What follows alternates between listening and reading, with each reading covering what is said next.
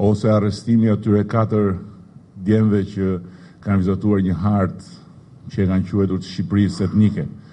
Kush mund të ndalojë kë në botën e lirë të vizatojë një hartë që ta quajë Republika ime? Ç'lidhje ka kjo? Si mund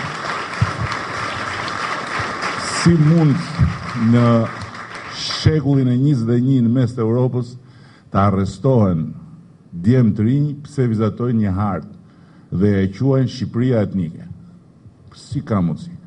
Çdo njeri ka të drejtë të vizatojë një hartë dhe ta quajë çfarë të dojë. Dikush mund të vizatojë dhe hartën e botës dhe të thotë bota është e imja. E çfarë do ta marrin, do ta çojnë në Hagë? Do ta çojnë në Hagë për krime kundër gjithë botës? Çfarë janë këta barbarë primitivë?